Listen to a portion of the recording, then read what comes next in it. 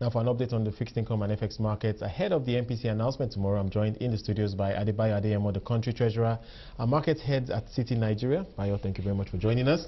So, I think three things to, to take note of over the last two months. So, these are the things I imagine the MPC will be talking about now. So, we have lower yields in the fixed income markets, we have a stronger naira, but then again, we still have this issue around liquidity in the interbank market, which, of course, the MPC is supposed to to direct in terms of how they mop up that liquidity. But let's start first of all from your take about the Naira and what needs to change, if anything at all, in terms of their strategy around the Naira. Because like I mentioned, it's stable at this point. Well, um, regarding the Naira, I think um, central bank has uh, done uh, uh, very well um, in, in, keeping it stable thus far. Um, if you compared um, previous MPC to where we are today, Naira has strengthened by a whole naira. Um, yeah. so I mean, today they closed at about um, uh, 162.15, um, and it's traded between the 50 kobo band in the past week. So relatively stable, which is where they want it to be.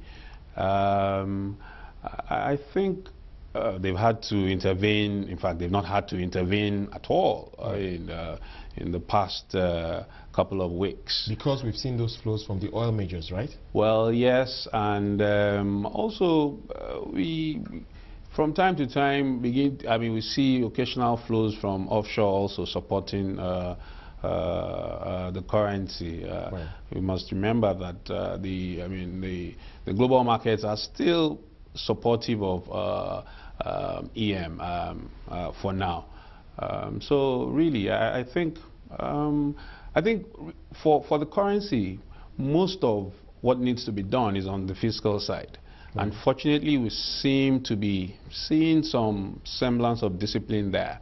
Mm. So the reserves are starting to tick up. Uh, it's at, I think about 38.4 billion now, which is uh, a, a, billion up. Uh, I mean, if you compare that to uh, uh, two months ago.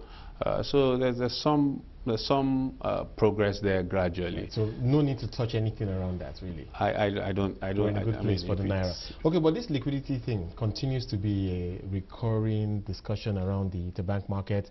And how will you describe how that has changed over the last two months? Would you say that the liquidity problem has become less or more over the last two months, um, given the what the MPC have to deal with right now? Well. Uh, I, I think is is is gotten better. Uh, I think, I mean, uh, from the maturities, the OMO maturities, I think uh, they've taken care of most of the larger maturities. We still have some maturities, but uh, I, I, I, don't see it as something that um, they won't be able to handle, given what they have handled in the past already.